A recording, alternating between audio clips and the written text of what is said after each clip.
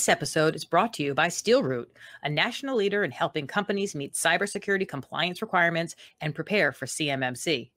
Their experienced team of engineers and consultants assist organizations of all sizes to implement and manage IT systems that meet the technical requirements in DFARS and CMMC. Hello, everyone, and welcome back to another episode of 123 CMMC.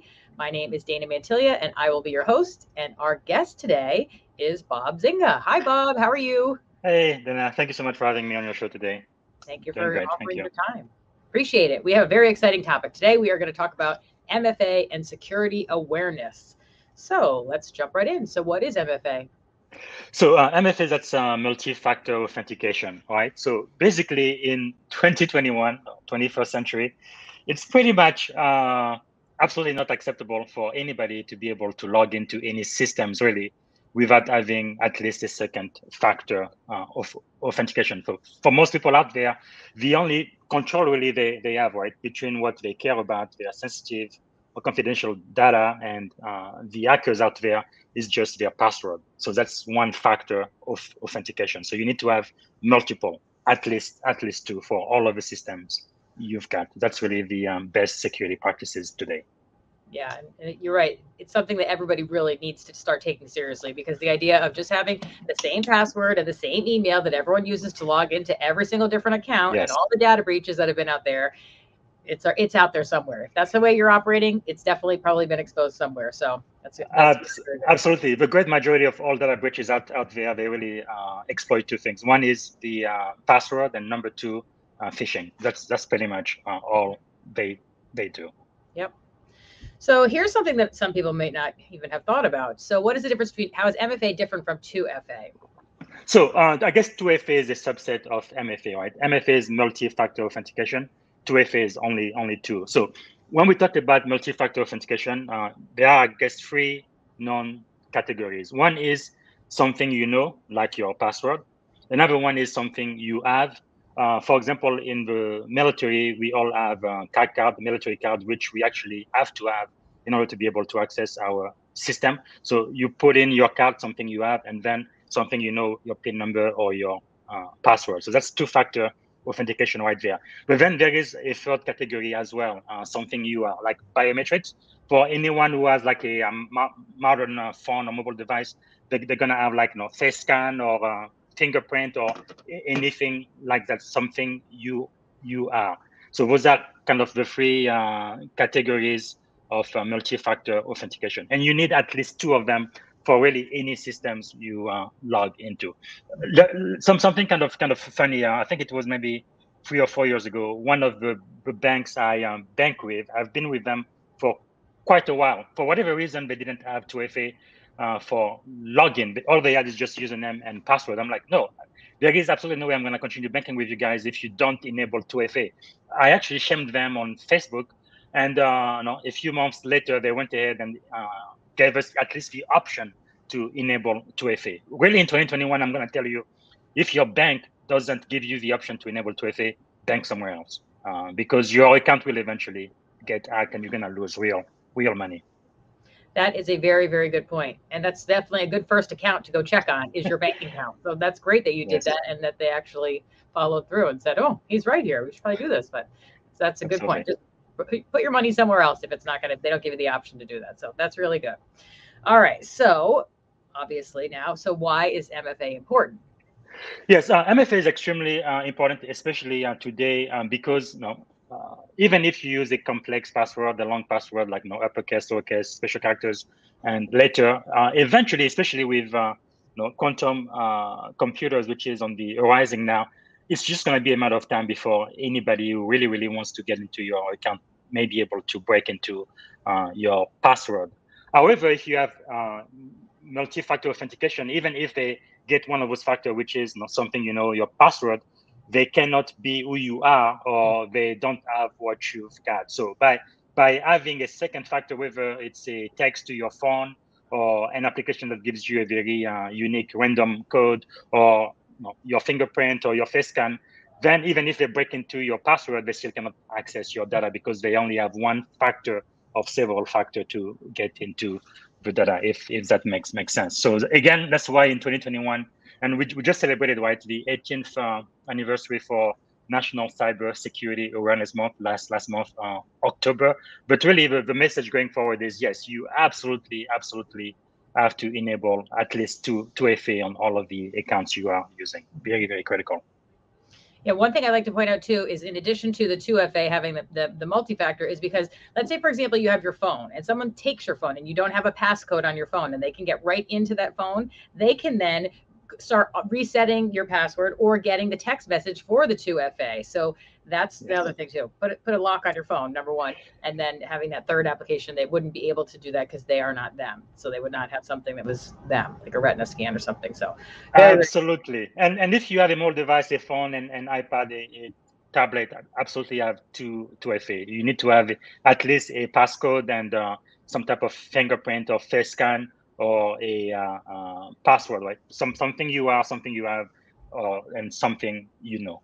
Very, very, very critical. Because I mean, if you just think about it today, almost everything we do, we have to have a phone now, right? I, I can't really imagine life without my phone today. Right. Absolutely, my entire digital life is on this little device, right? If this device is lost and somebody is able to get into it, I mean, uh, my life is pretty much over. So it is very important. So make sure to uh, keep it safe and secure and uh, update your, your your phone software yes. as well very very frequently. Takes two seconds to set up, right? So yes. do it. Okay, so now the next one is: Are all MFAs equal? Well, not exactly, especially when you come to the second factor, something you have, right? I think the uh, simplest way of uh, doing that is after you enter in your password, you could get like a uh, text message, like SMS, and then type in the code. Uh, one problem with SMS is it's already been uh, broken because people are able to actually use uh, uh, kind of like uh, those uh, SIMs, SIMs card and exploit them and be able to receive somebody else's text uh, on their phone. So that has already been been done. It's not easy to do, but but it's already been done. What, what is even much better than that is if you use an application like Google Authenticator. I love Authy or Microsoft Authenticator is is another one that's like an, an, actual application where you have to authenticate again and then it uh, gives you uh, the unique code you, you need to then access whatever uh, website you are trying to, to, get into. That's much, much more secure than just having a, a text message. Because if you think about that too, uh, many people, instead of using um, the phone number they, they get from their um, you know, ISP provider, they actually have like um, Google Voice numbers, which you can access from the internet just using your email. So if somebody's able to break into your email, they're going to be able to get that SMS text very, very easy, right? So uh, that's that's why uh, it's really, really better if you can to use uh, an application like Google Authenticator or Authy, and uh, then be able to use that as your second factor on all of the uh, websites you have to uh, log into. The new Department of Defense's cybersecurity program, CMMC, can be very confusing and overwhelming. A3 is a cloud based collaborative environment for an organization seeking certification. A3 builds CMMC packages and has access to a marketplace of consultants, RPOs, and assessor C3PAOs.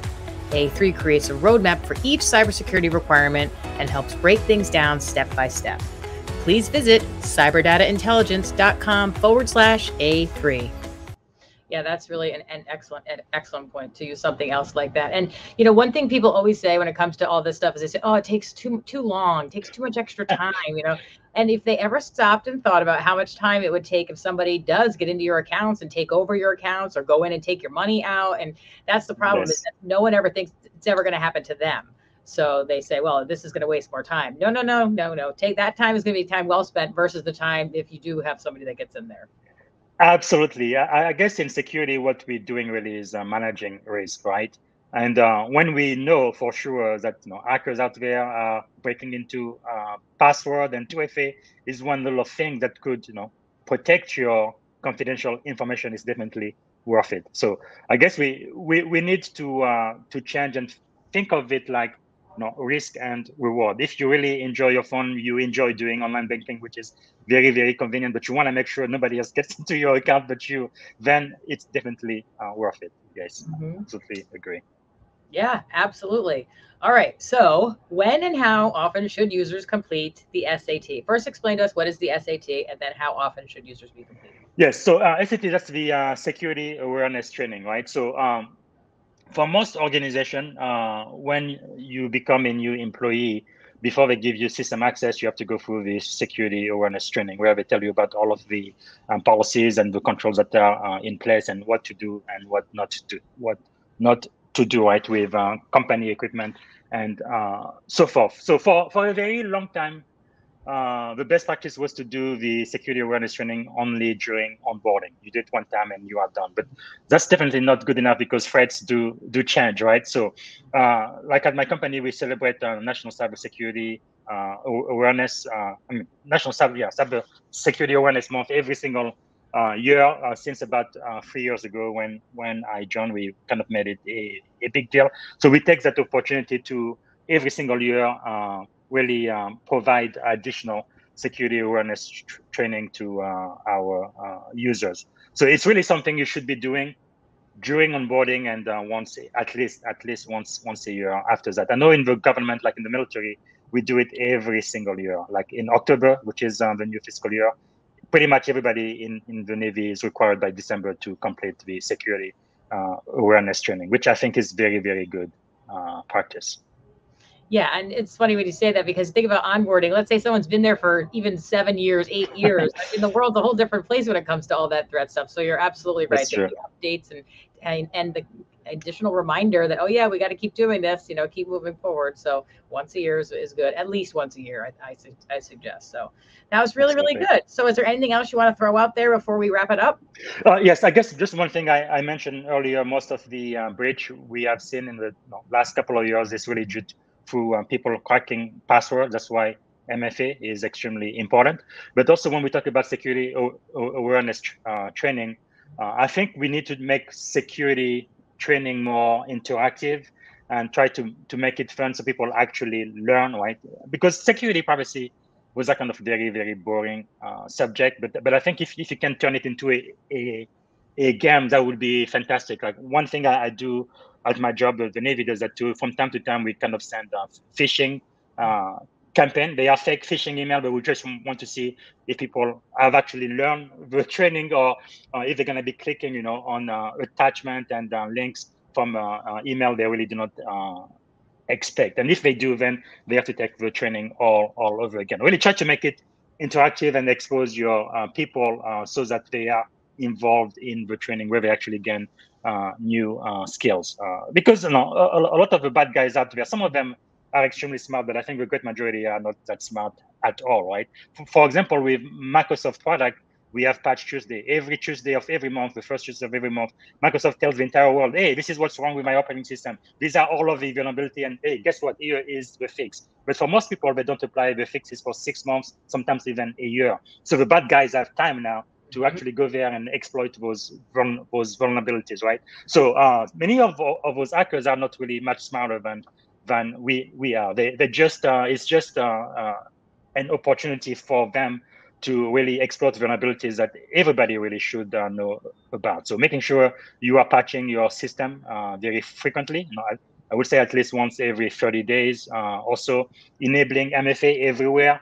Uh, it is allowed. And for those few applications that may not have a 2FA uh, as an option, you probably need to stop using them. I am very serious. Uh, don't use those applications anymore because eventually they are going to uh, to uh, to get hacked. And then you know uh, do security training at, at least once uh, every every year. Mm -hmm. so.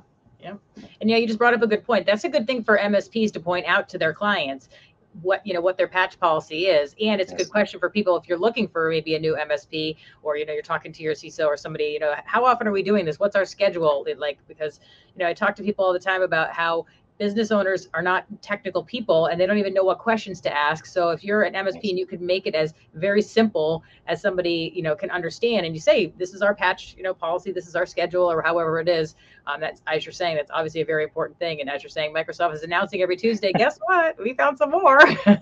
exactly. Well, that's great. Well, I really, really appreciate your time and uh, expertise when it comes to all this. This is very important stuff that we really need to start taking seriously. So, thank you very much, Bob, for coming on. Thank you. I really uh, appreciate the opportunity. Good, good. And thank you everybody for listening and watching. And we hope to see you again on the next episode. Till then, bye-bye. Bye.